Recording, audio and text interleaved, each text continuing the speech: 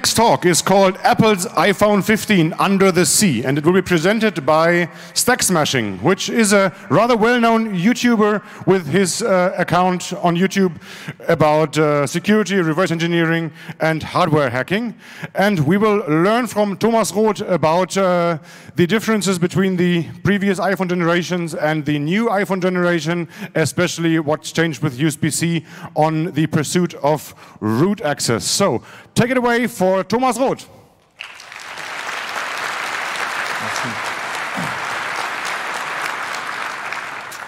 Yeah, hey, uh, welcome to my talk. Probably the worst pun on the Fahrplan today.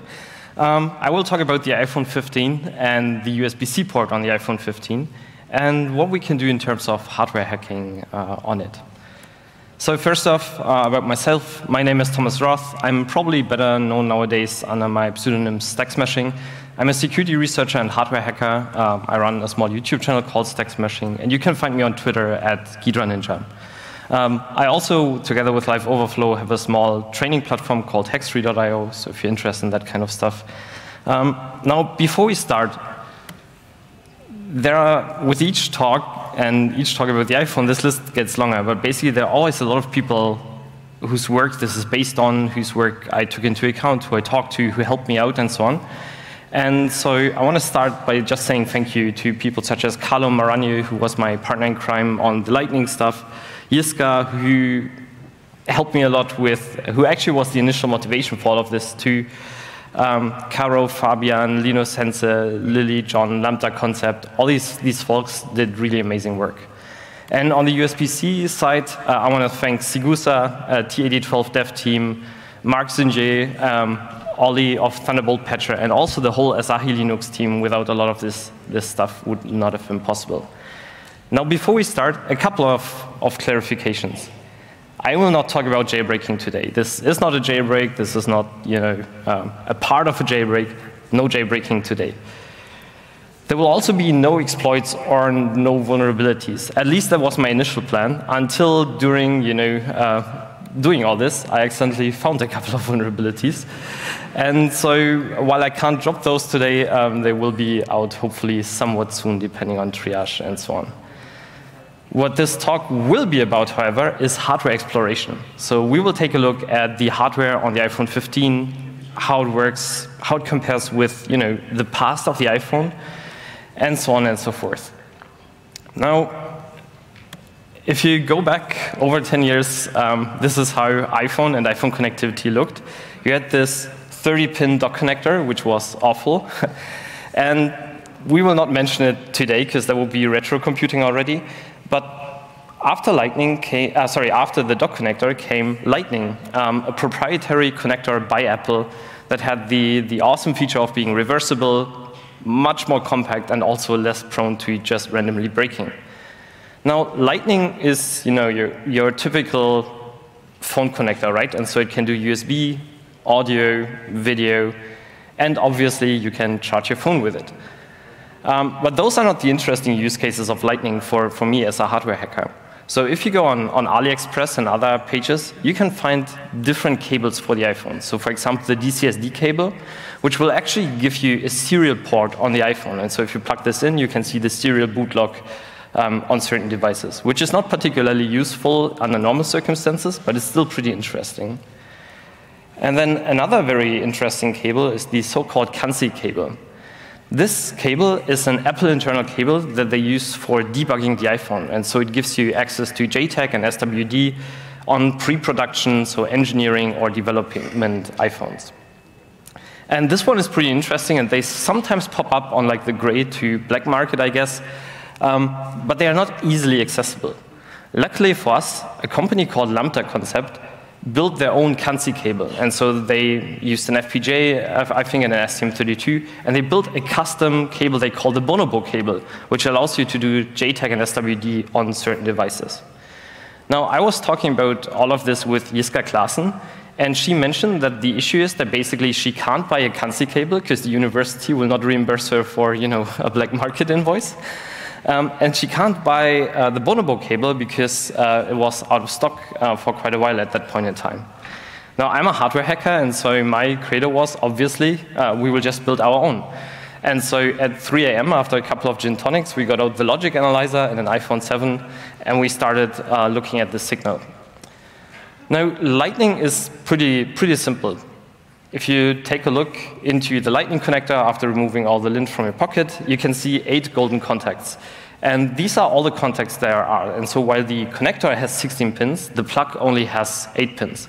That is, unless you have that one special iPad where they try to do USB 3 by extending the Lightning connector, but we don't talk about that one. So basically, we have eight contacts, and Lightning is as proprietary as you can probably make a connector. So if you have a plug, a Lightning plug of a charging cable, and you decap it, you will actually find that there's a full microcontroller in the Lightning cable. And so if you connect a Lightning cable to your computer and you look at the signals on a logic analyzer, you will see that there's a lot of stuff going on. And so the first thing that you can see is that before any USB communication starts, there's this proprietary protocol going on that basically talks between the chip in the cable and the iPhone. And they do stuff like say, hey, I'm a cable. They send over the serial number of the cable and so on and so forth. And only relatively late, after sending a, a lot of data back and forth, does the actual USB communication start. Um, and so you can see it takes quite a while to set all that stuff up, and then eventually we can see USB differential lines. This protocol that is used to talk to the iPhone is called SDQ or ID bus. It's a pretty simple one-wire protocol, and what happens on the, in the iPhone is basically we use this SDQ or ID bus protocol to talk with a chip called TriStar. And TriStar is basically a multiplexer. And so when we, uh, and so internally to TriStar, there are connections to the internal serial bus, so to UART, to USB, to JTAG, and so on and so forth. And when we plug in a lightning cable, the iPhone will ask the cable, hey, what do you want the lightning pins to be? And then the cable will say, you know, if you have a charging cable, please speak USB and serial, and so on. And this will basically change the state of a couple of pins on the connector to be USB, to be serial, and so on and so forth. Now, all of this is wonderfully documented for years, and so this, is not, this was not new when we did it, and this was you know, known since like six years or something. And it's a pretty simple protocol, and so we can pretty simply implement it uh, ourselves. For example, on a Raspberry Pi Pico. And so we just take a Pico, we implement the, uh, the protocol there, and then when we connect it to a phone, the phone asks who's there, and we just say, hey, I'm totally USB serial cable, and then we can, we can do this. And all you need to build this is a Lightning extension cord from Amazon or so, connected up to your Pico, and then after a couple of lines of C, we had a serial cable for the iPhone. Um, we just invested 100 hours instead of spending $18 off on AliExpress. Nice. Um, but you know, serial is relatively boring. What about JTAG? Now, JTAG um, is actually on the iPhone SWD, which stands for Serial Wire Debug. It's basically the JTAG interface by ARM that uses less wires. And the way JTAG is generally used is that you have a debug probe, which normally is you know, a tiny device, and you have a target, which can be a microcontroller board under most circumstances, or you know, a full-fledged uh, iPhone.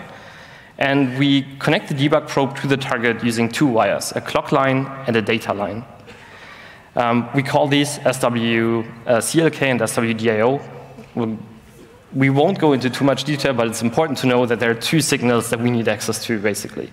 And using SWD, we can halt the CPU, we can single step, we can read memory, we can read registers, and so on. All that interesting stuff. And so we wanted to do that ourselves on the Pico without you know, having to buy a Kanzi cable. And so, easy enough, when the iPhone asks who's there, we just say, hey, please speak USB, UART, and JTAG to us. And then two of the pins in the Lightning connector will suddenly be JTAG. Um, if you do this the messy way, it will look like this. And so if like your desk is a mess and you have a debug probe separately connected to the Pico, to the iPhone, and a logic analyzer to see what's up. And after a couple of hours of debugging and uh, a week of fuzzing the SWD stack to figure out a missing bit, we actually got JTAG on the iPhone. And so our probe connected and we could do, you know, nothing. because unfortunately, SWD can be locked. Fully or partially. So basically, when you buy a device off the shelf, generally the SWD stack will be locked down because you don't want anyone to just you know go to your phone, plug in a cable, and dump memory, right? Sounds like a bad idea. And so production iPhones and production devices in general tend to have this SWD or JTAG interface completely locked down. Luckily for us, uh, the Checkra1n team found, found a vulnerability and built an exploit called checkm8. And with checkm8, which was a boot ROM exploit for the iPhone uh, 7, I think, till X, we can actually first compromise the boot ROM, and then we can also demote the device. And demotion, basically, in the context of iPhones, means that we make the device debuggable again. And so if we do all of this, we can suddenly connect to the iPhone via uh, OpenOCD, which is an open source JTAG tool, and we can start dumping memory um, and doing all the all the, the fancy stuff that you might want to do. As you can see, we see all the CPU cores, the memory APs, and so on and so forth. So we did all that, um, and we put that all into into the Pico. So we put the full debug probe into the Pico. Uh, we put the SDQ bridge in there to actually talk the lightning signals and so on. And in the end, we were left with this small setup where you have a lightning extension and you can actually debug the iPhone 7 to X using this, or you can read memory and so on and so forth. Um, this was apparently helpful to a couple of people, which was, was really nice. And now obviously this needs a name. Now all these cables that you can buy are named after apes. And so you have the Kanzi cable, the Kong cable, the chimp or chimpanzee cable, the bonobo cable. But luckily for us, they didn't yet choose the, the best monkey, which is the tamarin monkey, because it has this super impressive mustache. And so we called ours the tamarin cable. And this is all open source. Um, you can find it on GitHub. We also did some hardware at some point, but chip shortage kind of got in the way. And so now we mainly, given that Lightning is uh, on the way out, we, we are not uh, producing any hardware or so. It's fully open source. It gives you a serial console, SWD probe. You can do reset DFU and so on. And it supports iPhone, iPad, Apple Watch uh, now too, thanks to uh, Teamstar. And it costs roughly $10 to build awesome uh, work done. Um, but then, you know, something happened which kind of got in the way of, you know, making my work useful. and basically, with the iPhone 15, So we're bringing USB-C to iPhone 15. It enables charging, transferring data, playing audio and video, all that work for nothing, basically. So Tamarin is dead. And what's even worse, in this presentation, they didn't mention all the other interesting stuff you can hopefully do via USB-C, such as JTAG um, and serial. so now, if you look at the technical aspects of USB-C, USB-C has a lot of pins. And so given what we just saw was possible on Lightning iPhones, I was hopeful that maybe we can somehow map our SWD on some of these, right? Like, I mean, we have enough pins, should be possible. And they still need to debug the iPhone somehow. And so hopefully for us, there are ways to do exactly that. Now, the iPhone 15 is not the first USB-C device by Apple, right? The MacBook has been USB-C for years, the iPad has been USB-C, and so on. But I never looked at any of those. I didn't really, I don't really have had a lot of interest, I would say, until the iPhone 15, mainly because after I published Tamarin, I got a lot of messages, well, what about USB-C, this, that, and so on. And it turns out that other people actually took a look at USB-C on these devices. And so, for example, the T8012 team actually analyzed the Type-C port controller that, the, uh, that Apple uses in their MacBooks. And so on older Intel MacBooks, they actually dumped the firmware of this Type-C controller. Um, this is a photo that was nicely shared by, by home user. And this still works on modern M1 MacBooks, right? Like you can still dump the firmware using a debug probe in system. And so this is pretty cool because it allows you to exactly analyze what's going on on this Type-C controller. Versus on the TriStar, we never actually had a firmware to analyze what was actually possible. At least I hadn't. Now, what they found out is that basically USB-C uses something called configuration channels. And this configuration channel is basically used for USB power delivery negotiation. And so when you plug in a charger into your MacBook, the charger will send a message to the MacBook saying, hey, I can offer you know, 5 volts, 9 volts, 20 volts, whatever. And then the MacBook will say, oh, yeah, give me 20 volts and 3 amps. And then you know, the power supply will say, all right, and then turn on the power supply and mention to the device that it's ready. And all of this is done via these configuration channels.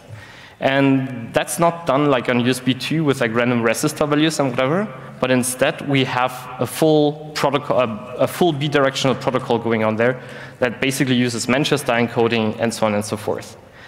And one of the features, if you read the USB PD uh, specification, is called VDM, which stands for vendor defined messages. Basically, a vendor can take the USB-C um, power delivery communication and add custom commands to it. And the T8012 team found that Apple did exactly that. And so they called it Apple VDM. And they were able to reverse engineer the firmware and found out that, for example, there's an action hex 10 that when you send it to the iPhone, or sorry, to the MacBook at the time, will reply with a list of supported actions. And we can send those actions to the MacBook and to this chip and see you know, what happens by just analyzing what's going on around the USB port. On MacBooks, um, the port on the left furthest away from you is the most powerful port because it contains a lot of uh, additional debugging uh, interfaces and so on. And on the inside, we basically have the MacBook, we have the Type-C controller in the MacBook, directly in front of the, the USB-C port, and we call that controller ACE. Um, that's just a string that's in the firmware, and there are different versions of ACE. And so currently we know of ACE1, ACE2, and ACE3. And ACE is basically the gateway from USB-C to the system on the chip in the iPhone. And so uh, ACE does the USB or Thunderbolt negotiation. It also can provide a serial console and much more. And so this ACE chip can basically be used to map different functionality onto certain pins on the USB-C connector. So for example, if we send VDM action 306, we get serial on our USB-C port. So very, very similar to what we saw on Lightning iPhones, just you know, uh, a tad more uh, on USB-C. But how can we actually send VDMs? So this is not something you can just do using libUSB or that you can just do from user space normally. Um, but the awesome folks from Asahi Linux um, found out that they can write a tool called MacVDM tool that is based on another tool by Oli called Thunderbolt Patcher that allows them to send from a Mac to another Mac these VDM commands. And this MacVDM tool even supports serial, and so you can actually use your Mac as a serial console for another Mac. Um, it supports rebooting the device, and it even supports putting it into DFU using these custom VDM commands. And so my hope was, I mean, if it works on the other devices and it works on the iPad and so on, maybe this works on the iPhone 15 too. And so I pre-ordered the iPhone 15, um, and on the day where I got back from holidays, the iPhone 15 uh, finally arrived, and I could give this a try. And it turns out it's the same on the iPhone 15. We can use VDM to reconfigure the USB-C port to do interesting things, such as getting the serial boot output of the iPhone. Now, using MacVDM tool for me as a hardware hacker, not in general, has a couple of disadvantages. So first off, because it's Mac to Mac, it only supports serial, DFU, and reboot, basically. And I need an additional breakout to access the other USB-C pins to, to work with anyway. Also, enabling the serial console requires disabling uh, system integrity protection and customizing the kernel. And so after I did that on the next upgrade, my kernel didn't boot anymore, and I had to do like figure out how to, to restore that and so on, which is easy, but it's not particularly comfortable. Then I found out that somebody else felt the same way. And so Marc Zyngier, aka Mats at kernel.org, um, designed the central scrutinizer, basically a piece of hardware that is a hardware serial adapter for these MacBooks. And so it does this whole USB power delivery uh, negotiation and then turns the Mac into, into the mode where it speaks serial. And you know, basically very similar to Tamarin, it also uses the Pico. And so it uses the FUSB 302 to speak power delivery and then enables level shifters to speak serial. Now, I was very hopeful that I could just use this board, modify it a bit, and you know, be, be ready to debug the iPhone. But unfortunately, it didn't work. And so when I hooked it up, I can plug it in, and you know, um, I can see some activity, but it didn't work. And so I started measuring. I, at that point in time, I wasn't particularly familiar with power delivery, and you know, just fiddling around sounded better than reading a 600-page specification. And so I just started measuring, and I found out that basically the charging voltage or the 5 volt rail of the USB-C plug was dropping down when you plugged in the iPhone. And so I modified the central scrutinizer, added a small USB switch to provide power, did some very minor firmware modification, and suddenly it worked sometimes-ish. And so I could basically use the central scrutinizer, which gives me access to all the interesting pins, um, to reboot the iPhone, and I could even you know, get serial on my logic analyzer and so on and so on. But again, right, like now we just have serial, like Big Whoop, we just had serial, you know, uh, using MacVDM tool too. But on the Asahi Linux wiki, there's a huge article about USB power delivery on the iPhone, uh, sorry, on the MacBooks. And they found a lot of different commands there. And so they, for example, they found actions that let you reboot the device. They found actions that let you, you know, go into DFU, debug UART, debug USB. Uh, they even found some I2C buses that you can map to there. And at the very bottom of the page was this small sentence here, 0206, weak, good chance this is SWD. Exactly what we're looking for, right? And so I modified the central scrutinizer firmware to send that command over, connected my debug probe, and after debugging this for, again, a couple of hours, um, I got successful. I could connect with my debug probe, and we can see that it says found debug port with ID 4BA02477, which indicates that yes, we are talking JTAG to the iPhone 15. Awesome, finally. Um,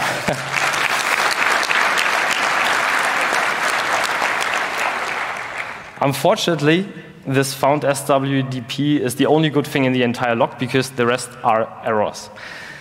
Um, so we can't debug, obviously, because it's a production device, right? Like we, we didn't really expect this to work. I just wanted to see if it can be done. And so, well, we basically wasted a lot of time, right? So, or did we? Um, so uh, it turns out that basically in the device there's a debug port, and we can connect to this debug port using SWD. And this debug port, in turn, gives us access to the other access ports in the device. And so there might be memory access ports, there might be internal memory buses, or JTAG APs, and so on and so forth. And you know, while we can't do anything useful on the, on the iPhone, we can still explore the APs. And so, for example, can quickly, let's try to do a hardware demo on stage. Great idea. And so, for example, I have an iPhone here connected to some, some hardware, and we can see it says communication initialized. And so I'm going to go into uh, JTAG mode. It says JTAG mode enabled. And now I can just use OpenOCD uh, using the interface Tamarin and the target iPhone 15. And we can actually connect to this. And for example, uh, I tested this demo before. and for example, read certain memory of the debug interface. This is not particularly useful, and we can even like enumerate all the, um, whoops, we can even enumerate all the other access ports, and we can see that there are only two access ports available. One mem AP, which is basically just something of the debugging hardware, and then also an additional JTAG AP. This is not particularly useful, right? And so we got JTAG, but unfortunately it's completely useless uh, on the iPhone 15. Um, somebody else told me that it actually works to debug on the, on the MacBooks with T2, but you know, that's not something that I'm, I'm particularly interested in. And so at this point, I wasted a ton of time and a ton of hours to basically get essentially nowhere. However, um, in the documentation that I showed earlier, there were also other buses mentioned, right? And so if we look at the, at the wiki, we can, for example, see that on MacBooks, there are two commands that map I2C buses onto the USB-C connector. And so let's explore the other buses. But for that, I needed slightly different hardware because I didn't want to fiddle around with like having a very rough setup every time. And so instead, I, I reached out to Marc Zyngier and I asked, hey man, I did this Tamarin in the past. Do you mind if I do a central scrutinizer-ish device and call it Tamarin C and so on. And he was a no, please go. And so I designed a board I call Tamarin C, which basically um, uses four bidirectional level shifters. And so we get access to all interesting pins that we can get through a USB-C uh, cable. It has a USB power switch, and so while we do this, we can actually charge the iPhone, because you know on Macs, you, you have enough USB ports to also just plug in a power supply, but on the iPhone, we only have a single port. And it also has a full SWD probe integrated, as you just saw. Um, hardware and software will be fully open source uh, later today. Uh, I even have some PCBs to give away. And basically, with Tamarin C, I'm now able to do the same as with MacVDM. I can, for example, uh, reboot the device, and then it will enter the serial console, and we get the serial boot output of the iPhone 15.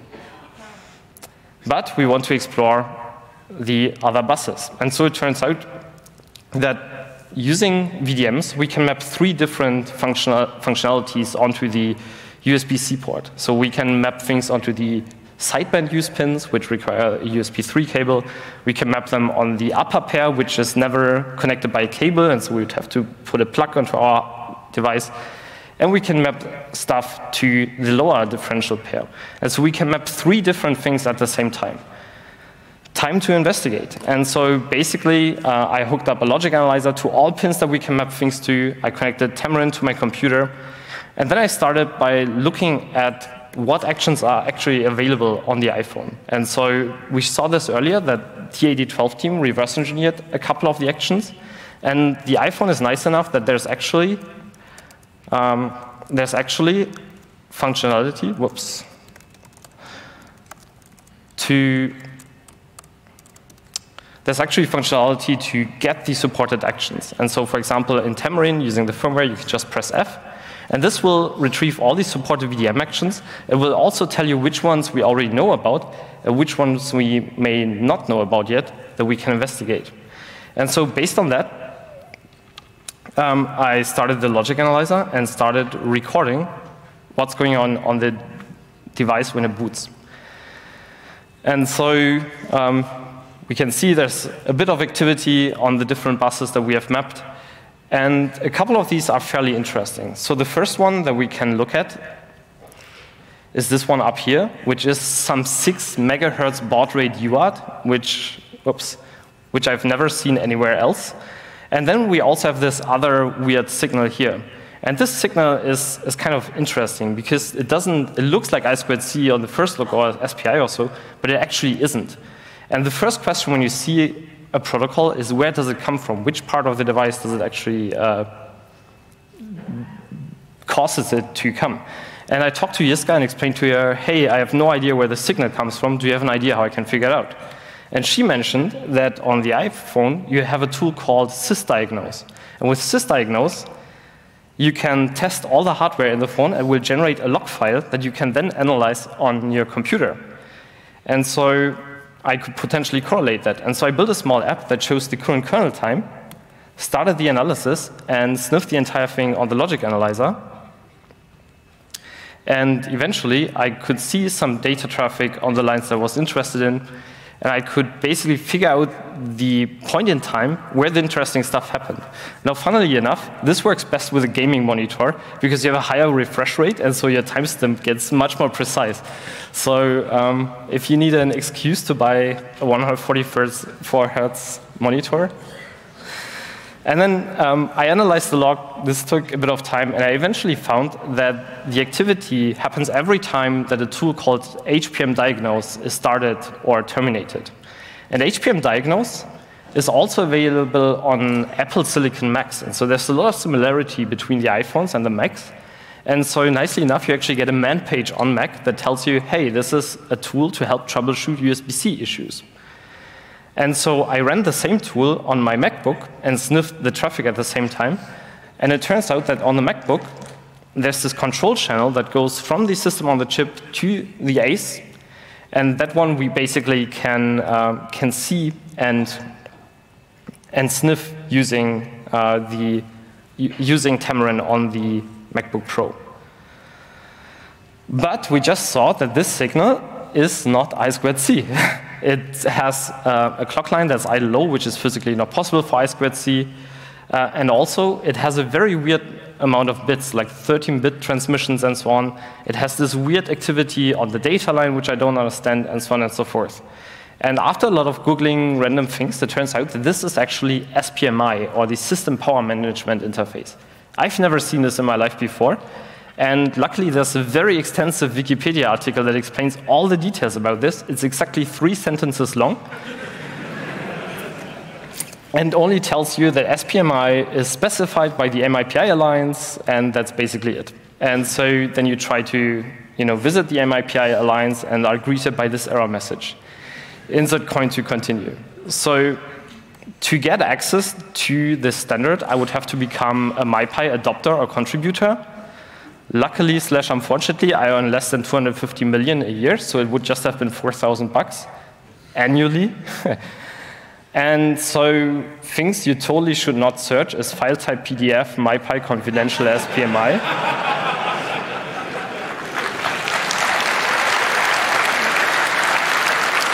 and which unfortunately, in my case, totally did not give me the first version of the specification, which didn't outline all co uh, commands. But then I found this 58-minute uh, video on YouTube in which someone happened to open the command sequence for MIPI 2.0, which we now fully have. And so I could start analyzing this, could take a look, and it turns and uh, could actually build what I believe to be the first open source logic analyzer plugin for SPMI. And so uh, you will find, be able to find this on GitHub later today.